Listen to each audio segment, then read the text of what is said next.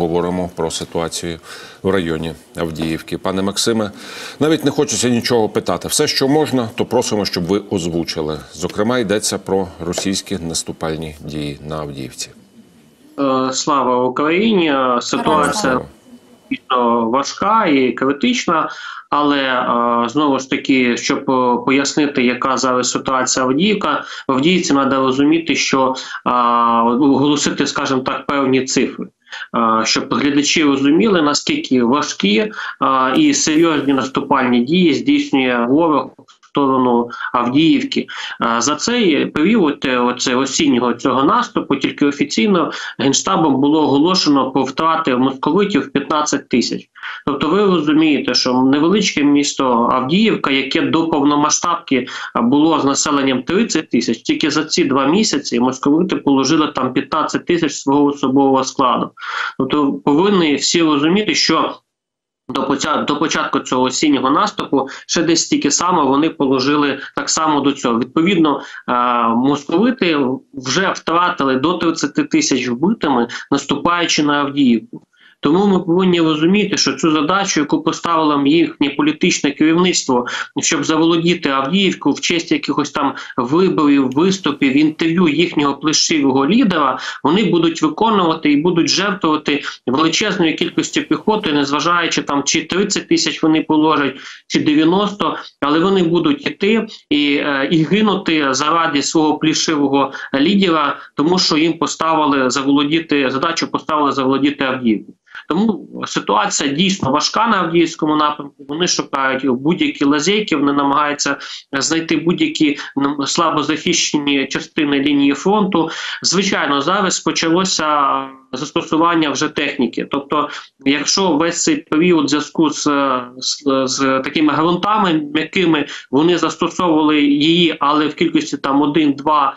Ну, може, три одиниці техніки, то зараз знову починаються відновлюватись такі колони кількості хай 10-15 одиниць, але це серйозна техніка.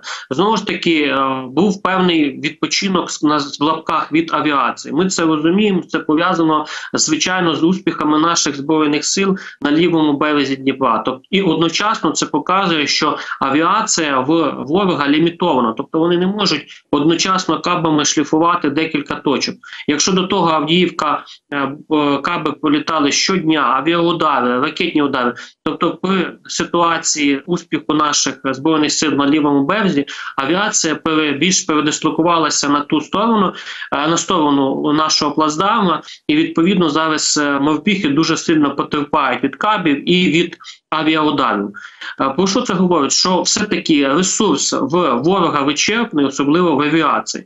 Щодо техніки, ми також, в принципі, Вважали чи думали, що можливо техніки буде мало і не зможе ворог е, проводити такі наступальні дії техніки на багатьох напрямках. Але як показали останні дні, збільшення техніки на нашому напрямку говорить про те, що поки що в техніці вони себе відчувають вільно.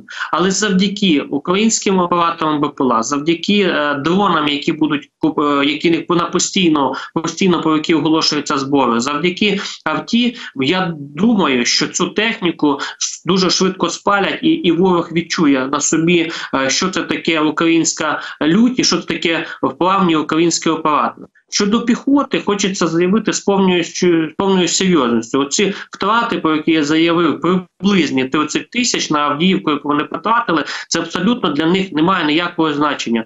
Таке враження, що вони пройшли ще 300 тисяч. Мало того, вони вже є інформація, що по лінії фронту вони висилають е, цю піхоту взагалі без автоматів, без бронежилетів, без касок, даючи їм е, просте задача. Вон там лежать убиті е, ці е, соотечественники, е, біжіть, е, забирайте автомат, вдівайте їхні каски, вдівайте їхні бронежилети і атакуйте українців. Тобто це повторення, як пам'ятаєте, Другої світової війни, коли такі м'ясники, як Жуков і йому подібні, від, відсилали мільйон громадян на того час е, Совєтського Союзу, абсолютно, абсолютно не жаліючи і не рахуючись смертями цих і долями цих людей. Тому ми, ми вже починаємо спостерігати на деяких ділянках фронту. Саме такі штурми, коли відсилаються е, бійці без зброї, без бронежилетів, без касок, з е, натяком, що он там лежать е, ваші погибші товариші, беріть автомати їхні і йдіть в бой. Тобто, щодо живої сили, я думаю, оці 40 тисяч, про які заявляють, що там приїхали. Чи прибули в Донецьк і готуються до штурму Авдіївки? Це 40 тисяч просто ще живих окупантів, які скоро перетворяться на дохлих. І мало того, якщо ви от спостерігаєте за Авдіївку, ви можете бачити відео. Я тільки що бачив відео дійсно 47-ї бригади, де вони показують, що ці окупанти, якщо не тут їх не ліквідовують, вони тут дохнуть, причому в муках.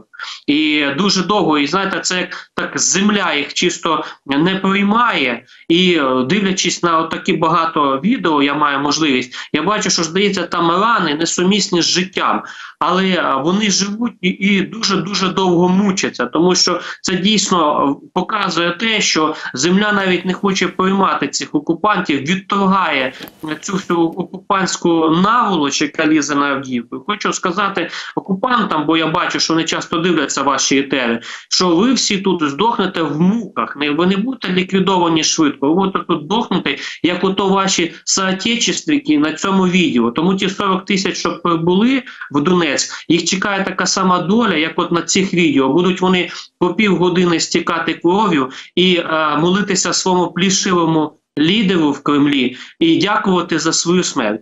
А в мене прохання до всієї нації, яка також дивиться канал Експресу. е, Скидайтеся на дрони, скидайтеся на збори. Ми так само проводимо збори по дронах. І А от вас розкажіть, пане Максиме, про ваш збір. А нашим телеглядачам хочу нагадати, що зараз для них в ефірі телеканалу Еспресо працює Максим Морозов, боєць Легіону Свободи, який зараз перебуває в пеклі на Авдіївському напрямку. Так і його побратими зараз оголошують збір. Пане Максиме, детальніше про цей збір і про потреби бійців в Авдіївці, конкретно в Авдіївці. Кон- конкретно в пеклі знаходяться, знаходяться московські окупанти. Ми знаходимося в раю на своїй райській українській землі і будемо свій український рай захищати до кінця. Тому для цього, ну я розумію, дякую, що ви оцінюєте нашу роботу. Ну пекло ми і ад робимо для. Цього цієї московської наволочі розумію ваше переживання. Так, ми оголошуємо, оголошуємо постійно різдвяно-новорічні збори. скажімо так, люди святкують Різдво Новий рік. І я думаю, цьому святковому настрої е, важливо скидатися зараз на дрони, тому що дрони камікадзе, ударні дрони це саме ті е, засоби, інструменти війни, які перетворюють е, оцього двоного окупанта на кучку гумусу, яке дуже дуже довго перед тим мучиться, і, і жаліє те, що воно пішло своїми двоногими ногами на українську землю. Тому це збір, якщо це новорічний збір, це збір на. Дрони камікадзе, е, їхню діяльність зараз ви дуже бачите. е, Скидуються відео в різні бригади, показують, як працюють е, ці дрони. І саме один із таких підрозділів, який працює з такими дронами, зараз робить збір на, на дрони. Тому закликаю всіх ну, допомагати, донатити цьому. Запевняю, це дрони будуть цими дронами будуть ліквідовуватись саме ця наволоч, яка лізе на Авдіївку. Якщо я не помиляюся, ціль де- 190 тисяч гривень на цей збір. Так, ціль 190 тисяч. Кількість е, ми повідомимо е, в ТГ каналах, які будуть супроводжувати наш наш цей збір. Тобто, все це буде фото, відео, звіт, так як завжди, як полагається, і і потім декілька ще чудових відео е, з зі знищеними москаликами чи їхньою технікою.